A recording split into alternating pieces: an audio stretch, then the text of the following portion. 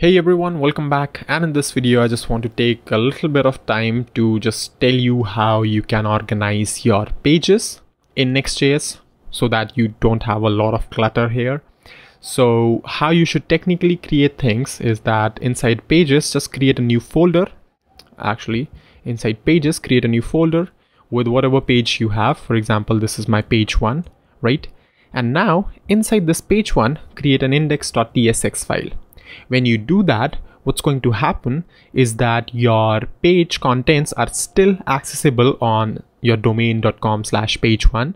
But now all the contents, all the relevant contents, in our case, it would be just TSX file and the styles file would be available inside this page one only.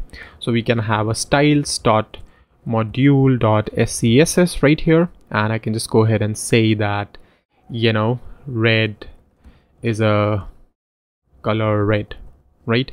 And now I can go ahead and just say export default function. Page one is uh, you know return h1 class name oops. And then styles dot red.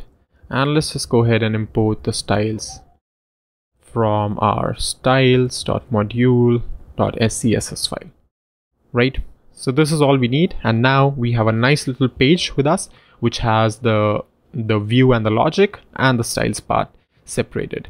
So if you go ahead and view page one right here, what you're gonna see is that nothing happens because we have no content there. But once I write hello there, we get hello in red.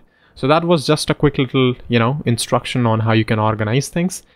I prefer folders and actually folders would be very helpful as well when you're creating dynamic routes and stuff. So just keep that practice with you when you're starting off.